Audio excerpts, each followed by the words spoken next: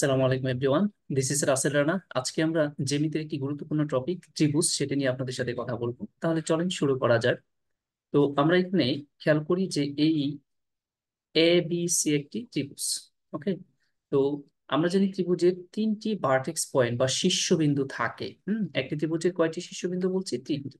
এই এ একটি শীর্ষবিন্দু বি একটি শীর্ষবিন্দু এবং সি একটি শীর্ষ- শীর্ষবিন্দু। তাহলে চলেন আমরা একটা খুব গুরুত্বপূর্ণ আলোচনা প্রথমেই বলি।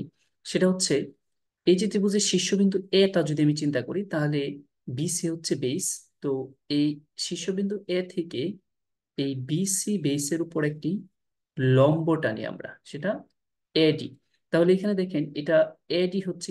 এই ত্রিভুজের লম্ব বা এটাকে আমরা ইংলিশে পারপেন্ডিকুলার বা আলটিটিউডও বলে থাকি বা হাইটও বলে থাকি কিন্তু মজার ব্যাপার হচ্ছে, এখন আমরা যেটা দেখাবো, সেটা হচ্ছে ত্রিভুজের যে কোনো শীর্ষবিন্দু থেকে তার বিপরীত বাহুর মধ্যবিন্দুর যে সংযোগ রেখা, সেটাকে আমরা কি বলি? সেটাকে আমরা বলি মধ্যমা বা মিডিয়াম। তাহলে খেয়াল করেন, এই এ হচ্ছে একটি শীর্ষবিন্দু, তার বিপরীত বাহু হচ্ছে বিসি এখন এই বিসির সমদ্বিখণ্ডক ধরেন এই ই বিন্দুটা। ওকে, এখন আমরা যদি এই এ ই যোগ করি তাহলে এই এ ই কে আমরা কি বলব? এ ই এই বাহুটাকে বলব এই ত্রিভুজের মধ্যমা, কেমন? বা মিডিয়ান বলে ইংলিশে। তো এইটা আলাদা করে বলার কারণটা কি? বলার কারণটা হচ্ছে, মাথায় রাখব যে মধ্যমা একটি ত্রিভুজকে সমান দুইটি ক্ষেত্রে বিভক্ত করে। মধ্যমা কি করে বলছি? একটি ত্রিভুজকে সমান দুইটি ক্ষেত্রে বিভক্ত করে।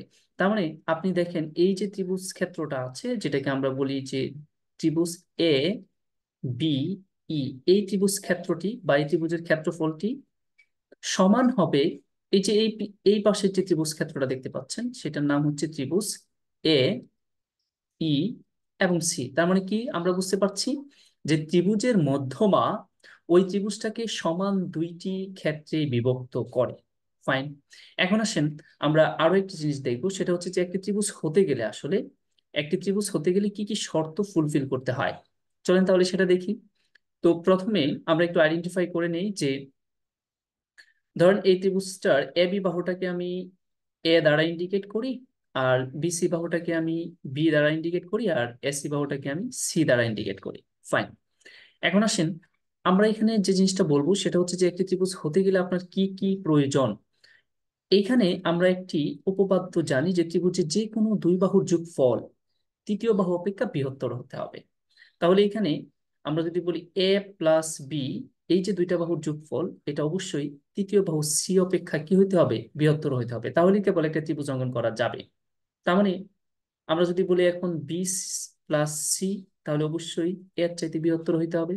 আমরা যদি এখন বলি সি প্লাস এ তাহলে অবশ্যই বি চাইতে বৃহত্তর হইতে হবে।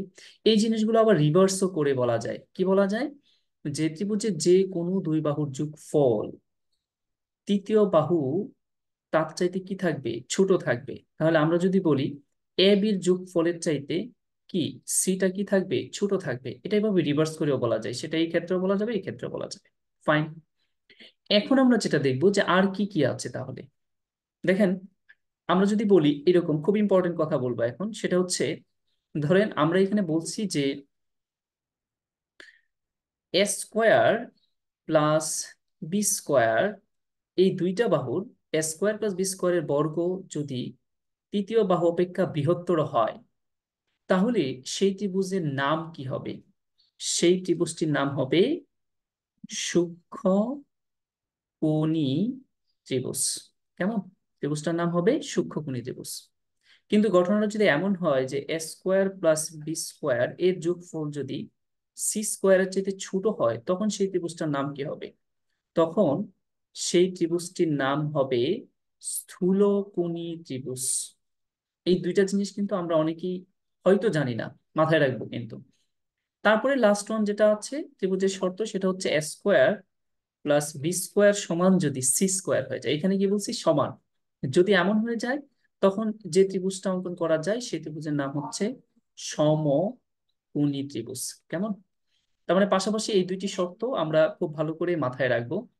এখন আরেকটা জিনিস যেটা আমরা সবাই জানি যে ত্রিভুজের তিন কোণের সমষ্টি হ্যাঁ? ত্রিভুজের তিন কোণের সমষ্টি অলওয়েজ কি হবে? ত্রিভুজের তিন কোণের সমষ্টি অলওয়েজ কত হয়? একশো আশি ডিগ্রি হয়।